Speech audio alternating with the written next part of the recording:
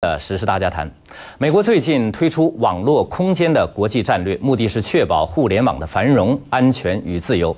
那么，为什么美国高度重视网络的安全和自由？网络安全和信息的自由流动对于美国的内政和外交有什么重要意义呢？我们欢迎马里兰大学国际传媒专业助理教授萨拉·卡梅斯博士为大家解读。卡梅斯博士，欢迎您来到美国之音的时事大家谈。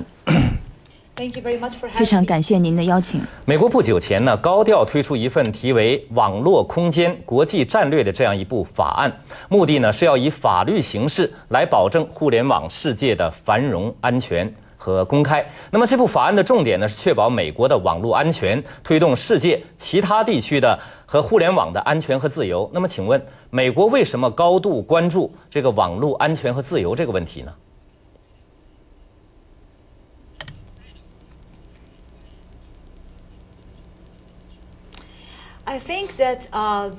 我觉得您刚才所谈的这个政策呢，是希望能够取得一定的这种平衡，是在两个非常重要的议题当中要取得平衡，那就是自由和安全之间的平衡。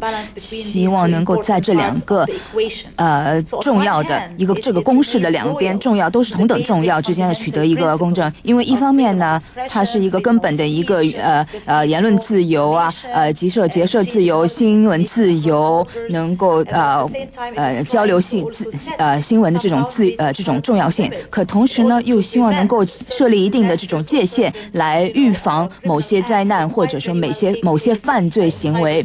有些呢可能是在网络里面会出现的犯罪行为，所以在这不同的层面，在个人、在社会、社区或者是在全球社会的这个层面呢，都有不同的问题。希望能够在各这个各个不同的层面呢解决这些挑战，同时呢又保护隐。权保护著作权，能够啊保护国家安全，还有国家经济。当然，在这里的挑战呢，就是怎么样能够保持这样的一种平衡，在这两个同样重要的，但同时有时候会交叉或者是有冲突的这种价值上面，这就是自由和安全。这里就是我们所面对的挑战。好的，自由和安全呢？您认为是美国面临的美美国互联网面临的两大挑战？那么实际上，美国现在呢，在刚刚公布的这个啊，美国美国的关于互联网自由和安全的这个政策方面，美国对安全呢，好像互联网的安全、网络安全呢，啊，赋予了极高的重视。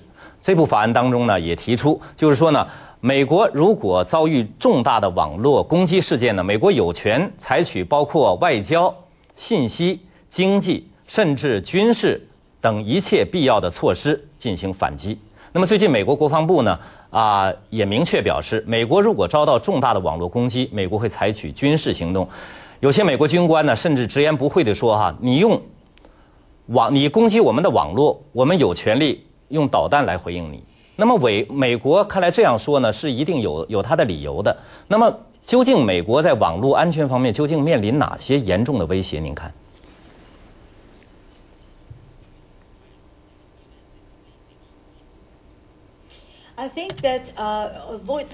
我觉得，呃，尽管在这里谈的是啊不同的威胁，国家安全的危险当然是最最重要的、急迫的一个威胁。当然，您知道现在有很多组织的非常有呃井井有条的一些恐怖主义的这种组织啊，他们在这个呃互联网上啊，呃是呃非常有组织性的来进行沟通交流啊。那么，美国当然。是希望能够保护自己的这种呃网络安全。那在这里的挑战就是怎么样能够在不呃妨害个人的这种自由、人身自由和言论自由的这种呃这个这个问题上面呢来，同时又能够保护好国家安全。刚才呢，呃，这位国会议员，我们听到他讲的这个，他呢也是呃，就我也是反对他讲的那个爱国法案的。那因为在这里呢非常重要，要保护人的这个隐隐隐私权以及呃言论自由。有，那么在这里讲到的这种外交，啊，外交是非常重要，它是在各个国家之间交流，能够加强合作伙伴关系。那么跟这国防呢，刚才你讲到的，那就是要呃使用这种武力的这种贺阻，也就是说，如果是这个条件符合，或者是有有必要进采取呃军事行动的话呢，那么这种呃那那也也也也也就是说，这个是三三点都是非常重要的外交。还有发展，还有国防，这些呢都是呃非常重要的一个支柱，这些都是这个政策的这个支柱。那刚才国防呢，刚才你也讲到非常重要，而且是很敏感，因为很多国家呢会说啊，那怎么样的一种威胁呃你要动武呢？对，在我来看呢，就是说这个威胁就是说怎么样能够呃贯彻落实这个政策，而同时呢又能够保证说能够保护呃信息自由流动、言论自由，并且不呃干涉个人的自由或者不干涉别国的这种信息自由的权利，这是非常重要的一个挑战。好的，那么除了网络安全的问题之外呢，啊，倡导互联网。公开和自由呢，也是美国网络空间国际战略的一个重要组成部分。最近呢，我们都知道，美国国务卿克林顿呢，不止一次的在公开场合呢，倡导啊，提出呢，呼吁这个要啊推动互联网的自由，推动互联网上的信息流动，认为这对于美国的这个啊，这这对于美国和全世界啊各呃，尤其是发展中国家建立民主和人权的公民社会呢，都是非常重要的。那么为什么？卡梅斯博士，为什么美国这么热衷于倡导啊互联网的公开与自由呢？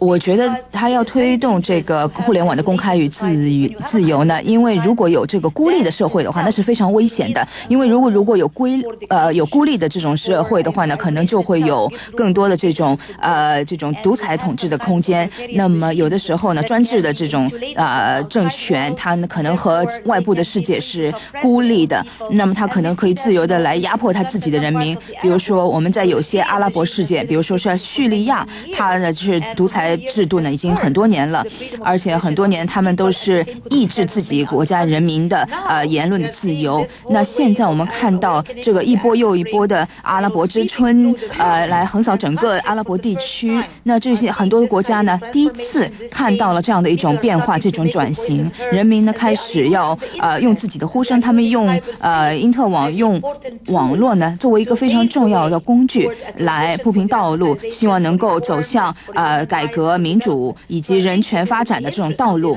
我觉得这个呢应该是符合美国利益，也推动啊自由以及新闻自由、新闻自由流动等这些政策，在全世界推广这些政策，因为这个本身呢就是呃一种保护，对于这些新的呃民主国家的一些呃发展的一种保护。好的，现在呢已经有许多听众和观众朋友们等候在线上，要求。参加我们节目的讨论，下面就我们就来接听他们的电话。首先是辽宁的于先生，辽宁于先生你好。辽宁的于先生，您在我们的节目中。于先生，好，于先生，对不起，于先生的线路呢可能是断了，欢迎您再打回来，于先生。下一位是辽宁的王先生，辽宁王先生你好。喂，你好，主持人你好。你好，王先生，嗯。那个，我就是辽宁的一个农民。嗯。我们这这里现在就是中国的老百姓生不如死啊。就是说，死的人有土地种，活着的人没有地种。好的，辽宁的王先生，您可能呢还是在啊，以为我们在讨论我们上半场的内容啊。您的问题我们听清楚了，但是我们现在呢是进行下半场节目的讨论。我们讨论的话题呢是美国关于网络安全和自由的这个国际政策问题啊，互联网的问题。如果您有兴趣呢，您听一听再打电话回来。我们希望我们其他的这个呃打电话的听众和观众朋友们打电话进来参加我们节目讨论的问题呢啊，参加我们节目讨论的听众和观众朋友们呢要弄清我们讨论的话题。我们下一位听众是。广东的罗先生，罗先生你好，你好罗先生，喂，罗先生，广东的罗先生，您在我们的节目当中。好的，罗先生的线路断了，欢迎您再打回来。河北的吴先生，下一位，河北吴先生你好。哎，嗯，请讲，吴先生，嗯，哎，是我吗？请，是您，请讲。啊，你好，嗯，哎，美国说的网络自由，像。叫网络自由，他是这么个个人呢，不针对国的国家。就像中国一句话，他来杀人，这我老百姓不点灯都不可以。啊，这得发表我的这主要我的意见。啊。呃，河北的吴先生啊，我呢没有太听清您的呃您的话，不知道我们的翻译听清楚没听清楚您的话啊？我知道，他说网络他不是攻击别的国家吗？啊，攻击那个他不说这个网络自由嘛，在别的国家攻击自由嘛？嗯。啊，他说中国人不是说一句话吗？美国人可以杀人，中国这个不简单的不可以，就那句话，就等于他那个他可以做的，他中国别的国家。好的，湖北呃河北的吴先生，我们大概听清楚了您的问题。您似乎呢对美国啊这个国策当中这个政策当中呢制定的那那一条，就是说呢，如果美国遭受网络攻击，美国有权呢。啊，采取包括军事行动的所有手所有手段进行反击，这样的一种说法，您感到不满？好的，明白您的这个看法。下一位是湖北的张先生，湖北张先生你好。哎，主持人你好。你好。嗯，这这个我我就是认我在中国是呃上网吧，就是说我。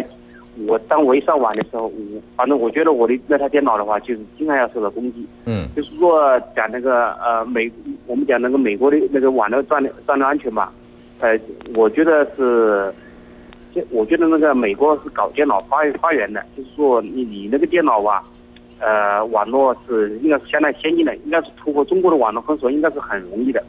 中国还是还是还是还是美应该说是美国美国的学生。呃，再一个就是说，我觉得美美国的话，网络安全受到威胁的时候的话，那肯定是要，比方说找找懂那个对象了之后，我觉得应该是要采采取那个军事报复，因为这个是它能攻击到国家的军安全，威威胁到国家安全。嗯，我觉得是是这个样子。好的，谢谢您。湖北的张先生，刚才呢，我们两位听众呢，好像是发表了不同的观点和看法，特别是对啊，美国在这个网络空间政策的这个啊当中呢，表明这项法案当中呢，表明一旦发生重大的网络攻击事件，美国有权呢采取包括军事手段在内的所有措施进行反击。我们中国听众和观众朋友对此呢有不同的反应，您的回应？让我首先来呃回应一下第一位听众所谈的非常有意思的一个议题，那就是说自由是光是只是对美国来讲的自由，还是其他国家也有自由？我觉得这个政策呢讲的是非常的清楚，讲到了新闻自由呃信息自由流动的重要，还谈到这个外交的这个重要性。外交在这里呢是要要用于有助于加强世界各个国家的合作伙伴关系啊，那这个呢要让这个信息呢可以。啊，自由的流动以及呃新闻呢，可以在网络上和互联网上自由流动。我想它的原则呢是要啊这个支持支持这个呃自由的这样的一个原则，不光是在美国，而是在国际的。呃，我觉我觉得刚才我们也谈讲到呃互联网上的呃信息的自由流动呢，认为也是能够呃支持这个呃民主的。那这个是美国所支持的。呃，另外第二个这个听众讲到呢，当然是更敏感的一个问题，就是关于。啊，这个国防的这这方面的这个政策啊，使用这个武力，那它什么时候可以使用？它条件是什么？那当然，怎么是可以和跟我们之前所讲到的这样的一种，在这个呃攻势两边呢，要要要一方面能够保护这个自由，另一方面呢又过能够啊捍卫着安全。当然，在这里呢，留留下很多的问号。呃，那么这个听众当然讲的呢，也是有一定的道理，也担忧这个问题，因为。这个呢可能会带来一些可能比较混淆的一种呃这这种情形，但是我们现在呢可能并没有所有的答案。好的，网络呢在传播民主和人权的思想、推动人民抗议活动这方面的作用呢是不容忽视的。去年啊，在伊朗的抗议活动，还有今年以来呢中东和北非各地发生的人民抗议活动，我们都可以看到脸谱和推特呢等社交网络发生了重要的作用。呃，对，完全正确。如果你看看阿拉伯之春呢，或者说我们在中东呢，把它叫做阿拉伯的这个觉醒，那看到有这么多的年轻人通过这个呃这个博客，或者是推特，或者是用呃这个呃发短信啊等等，呃，都可以呃在那个地区呢呃爆发出一场这样的革命，能够在呃这个埃及啊，在呃叙利亚、也门、利比亚啊、巴林等等呢都。燃烧起了这样的一种呃民主之火，这很有意思。看着他们什么用用这种新兴的这种媒体，用网络来为改革、为变革、呃为民主化呢铺平道路。我也很高兴你刚才还提到了伊朗。因为伊朗呢，它就是一个例子，它想要呃遏制推特，呃或把推呃遏制这个推特革命，但是在伊朗呢，这是呃呃嗯这个没有成功，它原来是想要呃阻挡信息的这种呃流动，那。他只，呃，他们呢，呃，之所以没有成功的是，并不是因为推特被被这个封锁了，而是因为地在这个地方呢没有足够的组织。那我觉得这个社交民主呢是有助的，但是呢，更重要的的是要当地的民众要自己自发的组织起来，这才是一个决定他的革命能否成功的一个关键。那么中国呢？啊，您对中国目前互联网政策，您呃政府的互联网啊政策，您有何评论？另外呢，您您觉得现在啊，就是社交网络在传播自由民主啊自由和民主思想这方面，在中国有什么重要的意义？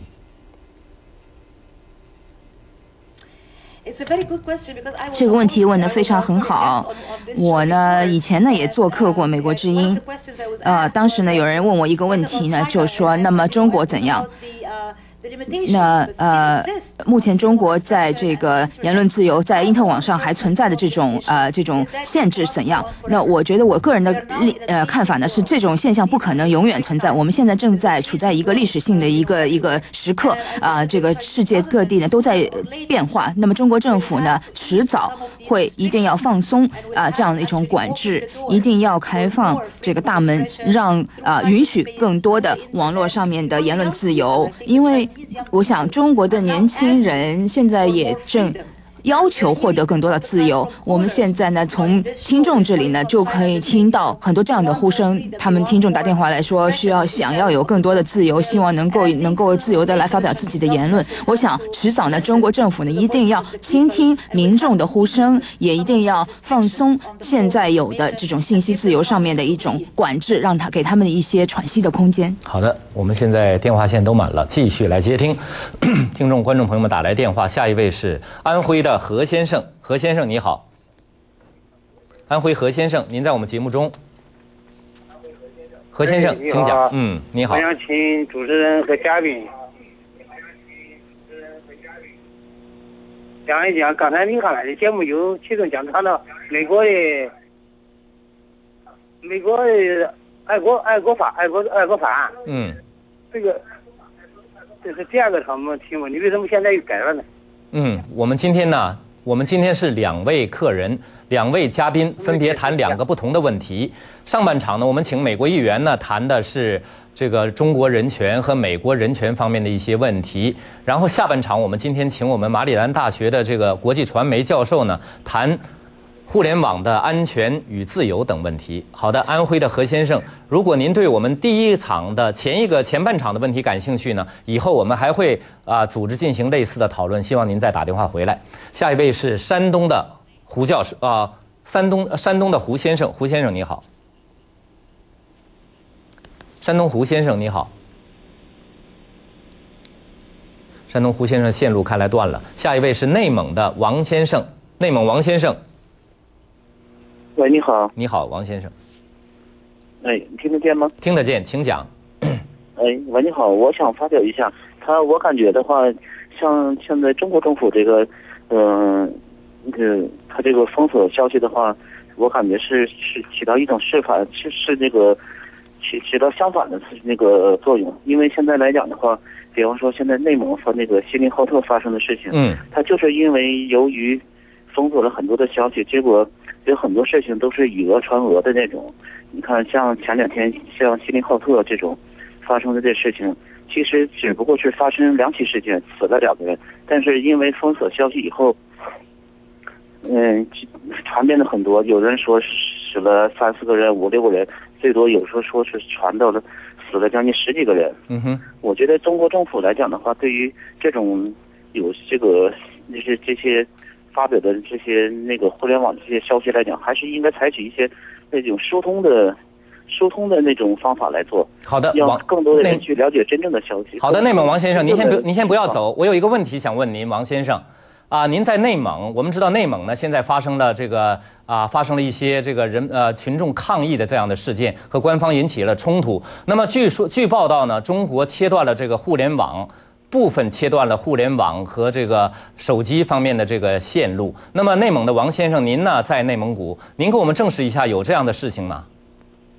呃，电信的三 G 的网络已经切断了。嗯，是这样的，因为他可能现在，而且手机上网是前两天是上不了的，但是今天可以上。今天可以上了，前两天还上不了，但今天就可以上了。那么，内蒙的王先生，我想再问一下，内蒙的局势有所平静吗？现在？